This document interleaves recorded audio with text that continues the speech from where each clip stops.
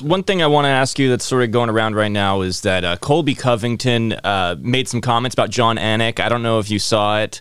He basically, uh, you know, said like because because Jon Anik was supporting Belal Muhammad, and he he said that you know keep basically kind of threatened him and said that you're. Uh, what did he say? He said that your kids don't. You don't want your kids to grow up without a dad, and people are sort of criticizing him and saying that it was Oh, uh, it was it was bad form. guy. Colby get Ko- Colby shit himself in the street. Like he's like, he's not he ain't that kind of guy. But regardless, I don't even want to talk about it.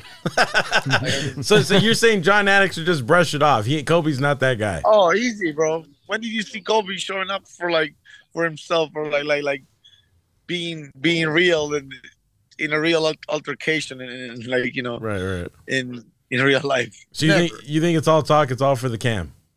Come on, bro. Yeah, Hundred percent, you gonna talk. 100. percent All right. It So, so even a question. Jon Anik is safe. Thank God. We we don't want a UFC fighter Uh, yeah, attacking a commentator. You know. You think uh, Colby deserves a title shot, though? I know he's in a different division, but there's there's talk I about don't know, that. guys. Come on, guys. Like I ain't no matchmaker. I ain't no. You, All right, all right. you know, You want him to slap him, Marvin? He No, it's a weird question. Like you know, like kind of